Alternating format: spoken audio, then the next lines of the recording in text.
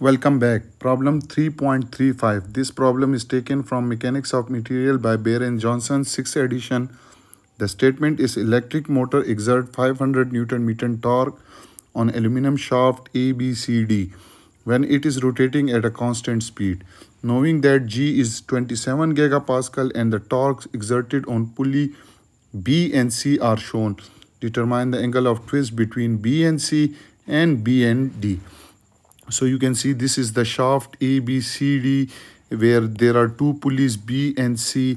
The motor exert a power of 500 newton into meter and the torque on pulley b is 200 newton while on pulley c it is um, 8 300 newton meter. So you have to find the angle of twist in shaft bc and angle of twist between b and this d so let's start with the solution. So first we what we will do is that we will find angle of twist between angle of twist between B and C. For that what I have to do is that if you cut the beam at uh, sorry this shaft at this point and draw the free body diagram so it will be like this. This will be the shaft AB where there is a pulley. Clear? This is shaft A this is B and this is the remaining portion of shaft BC so the torque on it is counterclockwise which is 200 newton into meter. So here the torque will be clockwise and this torque will be equal to tor torque BC and by using equation of equilibrium TBC will be equal to 200 Newton into meter but opposite in direction to this torque. Okay. So now uh, also you can see the length of BC LBC length of BC is given as 1.2 meter the diameter of BC is given as 44 millimeter. So radius will be C will be C of BC C is radius of BC will be equal to 44 divided by 2 which is 22 millimeter. And in meter it is 0 0.022 meter. Also we know that angle of twist of point B with respect to C is equal to torque BC into LBC divided by G into J of BC. So what is J of BC? So J is polar moment of inertia and it is equal to pi by 2 C power CBC power 4. So pi divided by 2 and C 0 0.022 power 4 so when you calculate it you will get polar moment of inertia of rod BC comes out to be 367.97 into 10 raised to power minus 9 meter power 4 now you can see that you have this value you have LBC you have G and you JBC so you can just put the value of each and every term torque is 200 length is 1.2 meter divided by G which is 27 megapascal uh, gigapascal.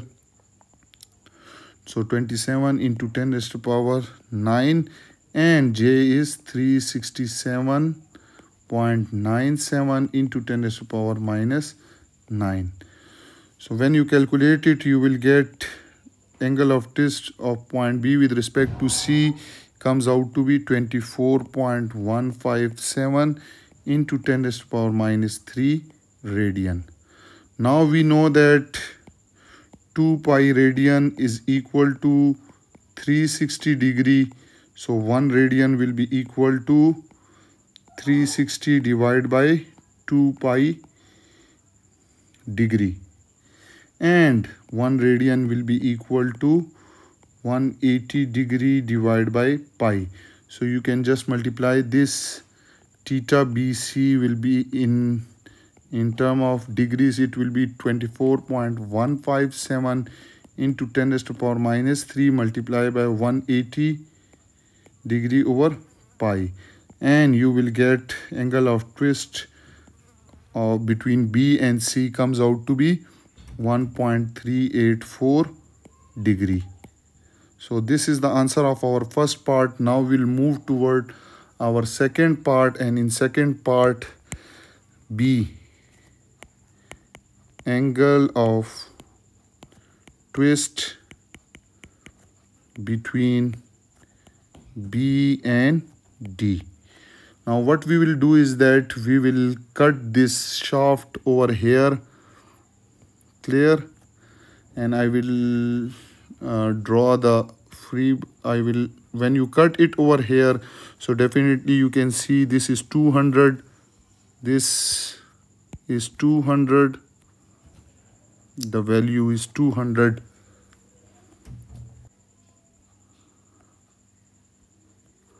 this is 200 in counterclockwise this is 300 500 so uh, here you will be having torque CD will be equal to 500 Newton into meter. So I will write this torque CD I will write it over here. Torque CD is equal to 500 Newton into meter. Length of CD will be equal to 0.9 meter.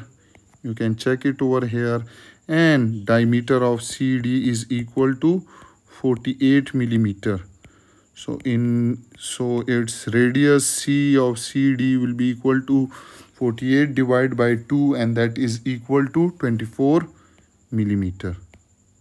In meter it is equal to 0 0.024 meter. G is also available there. So and what is polar moment of inertia for jcd is it is equal to pi by 2 CCD power 4 so put the value pi by 2 ccd is 0 0.024 power 4 and you will get JCD will be equal to 521.153 into 10 to the power minus 9 meter power 4. Now we will find the angle of twist C with respect to D.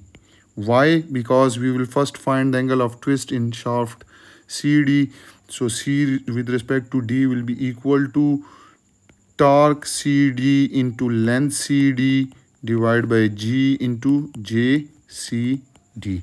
So you can just put the values torque is given as 500 length is 0 0.9 divided by 27 into 10 to the power 9 multiplied by JCD is 521.153 into 10 to the power minus 9 this is angle of twist between C and D. So C angle of twist comes out to be 31.980 into 10 to the power minus 3 radian. So and we know that 1 radian is 180 divided by pi so 31.980 into 10 to the power minus 3 multiplied by 180 degree divided by pi. So you will get this angle of twist between point C and D comes out to be uh, we will check it if this comes out to be it is 1.833 degree. Now the angle of twist of point B with respect to C will be uh, with respect to D. Theta b slash d will be equal to angle of twist between b and c plus angle of twist between c and d.